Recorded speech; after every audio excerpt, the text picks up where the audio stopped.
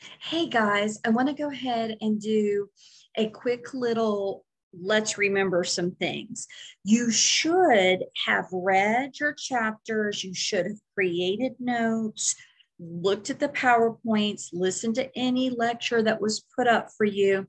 But I did, I'm getting ready to post a blueprint for you for the test. A blueprint is going to tell you how many questions, like for pneumonia, how many questions for uh, electrolytes, how many for ABGs and acid base. So I broke that down. You will have a 50 question exam. You will have um, five calculations that you'll have to do. It won't be anything that we have not gone over, so no IV stuff yet, but it will be everything up to that point as far as your calculation piece, um, even conversions. So review your conversions at all times but let's get started because I do want to hit a few key points to kind of make sure I drive the point home so that you'll understand. Um, I want to say this to you. We're going to start with pneumonia. Just know with pneumonia, if I'm hanging an antibiotic or anything like that, I've got to get cultures if you're doing any kind of infection. But for um, pneumonia, it's respiratory. So we're going to get sputum cultures if I have an infection somewhere else, say a UTI that's unresolved, renals are involved, then I would get blood cultures. But no matter what, you get your culture, whichever one you're getting, prior to starting antibiotics. Because if you start the antibiotics, it's going to alter that. I want to just key in on that. Um, know that if you have a patient that comes in that's being admitted to the hospital with pneumonia. So they come in and they're going to be admitted. There is a protocol that has been put into place because it has been proven, evidence base is proving that if we can get those antibiotics in quickly, that we have a better um, turnaround. These patients will do much better. So when we're administering antibiotics, you want to do it upon admission. They get admitted, you usually try to get it in with four to six hours whatever the protocol of the facility, but the thought process is within four to six hours that antibiotic should be in. Okay. Um, one thing also with our um, pneumonia patients, they can get filled up with a bunch of yucky stuff in those lungs. That alveoli are just filled with different yucky stuff. When that happens, um, it can be very painful to breathe. And I know that in class I talked about surgical patients coming out, that, you know, one way to prevent them from getting um, respiratory acidotic, meaning they're maintaining all their CO2 is by giving their opioids, give pain medicine so people can take a big breath. Open heart patients, you know, the sternum's been cut down they're put back together and they're out there. It hurts to take a breath, that moves, right? So you want to give those pain medicines. But if you have an oxygenation saturation that is below 90, then what you want to do is first put on supplemental oxygen because we want to oxygenate the body. Then you would go get your opioid or get pain medicine and give that to them. Then you would go do the next step of whatever you needed to do when you're taking the test, when you're in practice, prioritizing care is vital. So just think it kind of through. I what's the priority? I need to oxygenate. So if I go below 90, I need to start thinking oxygenation. I need to start supplementing. Um, always remember that all antibiotics, if they are started, need to be finished unless there's a problem and the physician stops that antibiotic. If that's the case, it stops. But any other time, that plan of care is going to go forward. You take all of the antibiotics, you don't stop. Um, remember why we give it. What, who do we give antibiotics to? Well, we have three different types of pneumonia. Just remember that. We have community acquired. Um, we, have, we can have bacterial pneumonia we can have viral pneumonia. Um, and the thing with all of this is that, and we can have aspirate pneumonia.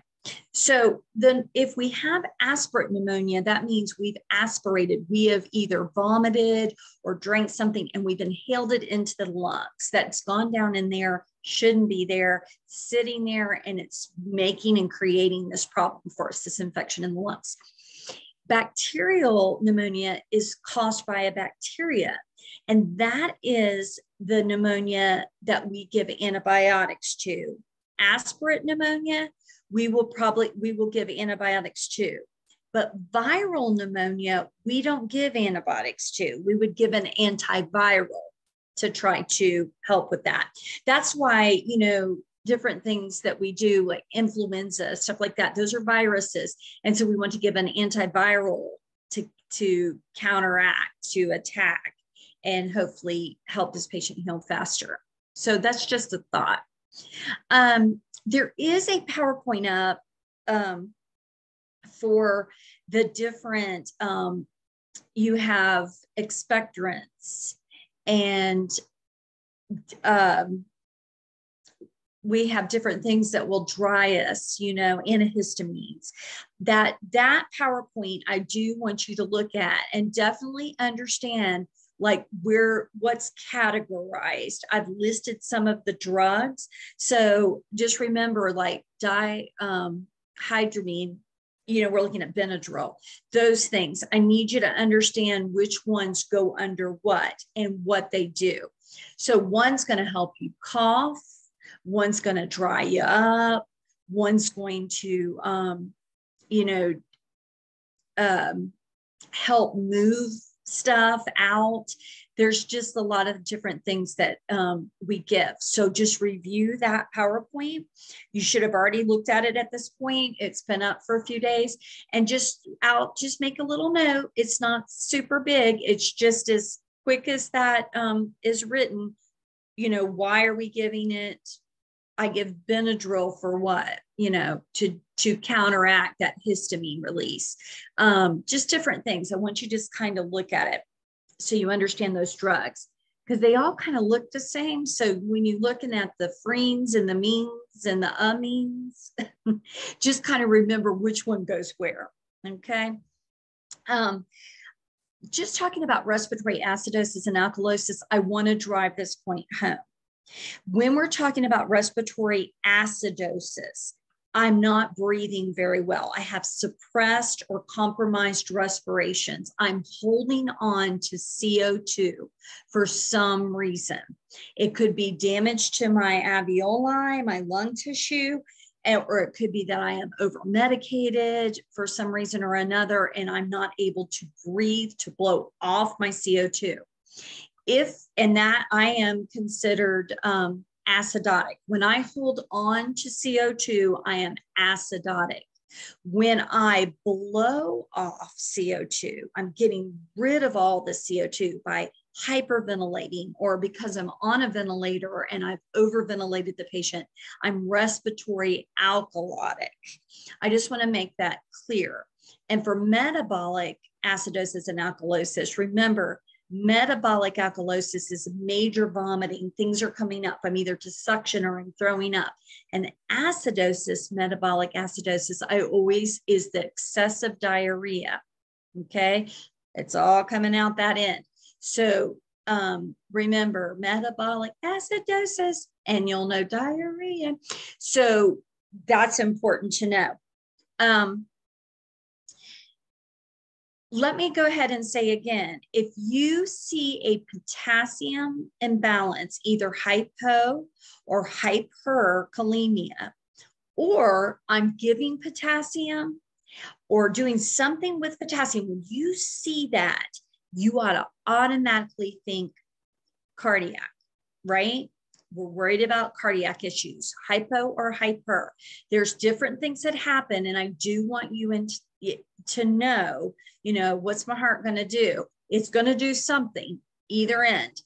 But so let's just say I'm looking at a potassium supplement or something like that. If I happen to have to give it or or stop it, I always want to assess what You want to assess your respirations and your cardiac status because if it's out of whack, something might be going on. And if I correct it and I get it back into the norm, I still want to assess my patient.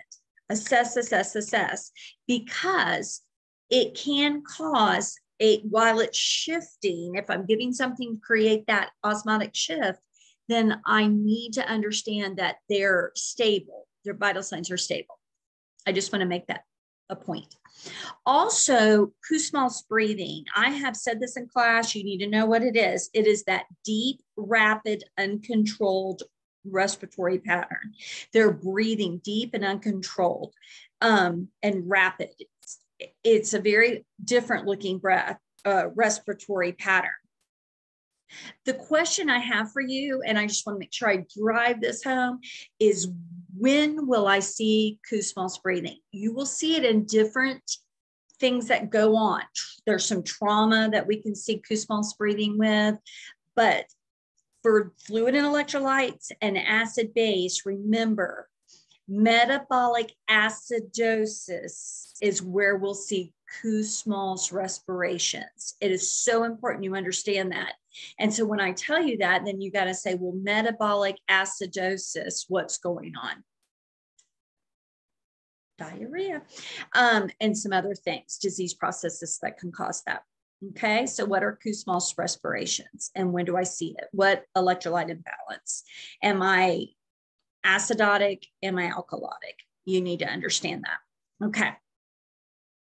Re- excuse me. Remember your diuretics just remember them when when we give them loop diuretics are going to they're potassium wasters. You've got to start to be able to conceptually and in your mind think about this. I'm giving a loop diuretic.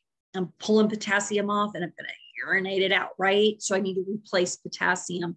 So just remember those. And those loop diuretics normally end with ide that's a good way of being able to finally see it. Like in a question if i see something out there and it has ide at the end of it, my thought is it's a loop diuretic, you know, furosemide, for example. Okay. Um, also, when we're giving those, what are we doing? We're pulling fluid, right? So, when do we give diuretics? Well, we've talked about this. We're either going to have fluid loss and we're not going to give diuretics, we need to give fluid, or we're going to have fluid overload. And if we have fluid overload, you know, what are we going to see? We're going to have, you know, bounding pulses, we'll have JVD, right? All of those things. So we want to give a diuretic to pull the volume so we can eliminate the volume. Um, also, I want you um, to understand that that potassium cardiac, sodium neuro. But I will tell you, I want you to think about this when we're running, playing, when we see that and cramp and everything, what affects muscle tissue besides potassium? Because that's what's it's dealing with the heart, that potassium. What else can? Calcium. So calcium affects muscle too. So as you're looking, a lot of them can affect um, cause muscle weakness and all that. But when we're thinking cardiac, it's potassium, potassium, potassium. But if I don't have a potassium choice, I need to think calcium too. So there will be five calculation questions. So just review that. Um, and then we have a couple IV questions. And you've heard it, you should have in lab and, and you just throughout the last semester and into this semester, there's three. And I just, it's about putting in an IV, read the questions very carefully, and you'll be able to answer those. I hope this helps. Please review your ABGs, that Rome interpretation, respiratory opposite, metabolic equal.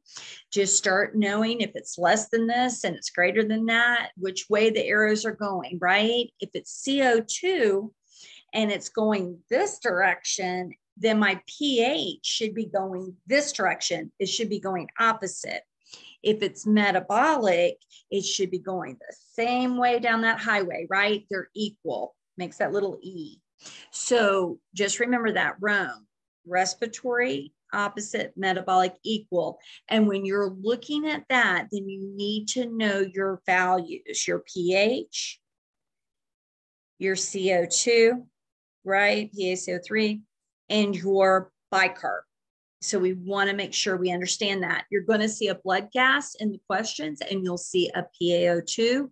That is telling you your oxygenation. When we're calculating ABGs, we're not looking at that, not at this level. We are right now looking at pH, CO2, and bicarb. And we're going to make our decision. Are we respiratory or metabolic, acidotic or alkalotic? You're going to do great. Study hard. You've got this. And I'm excited. We're going to keep moving forward. Talk to you soon. See you soon. And keep on studying.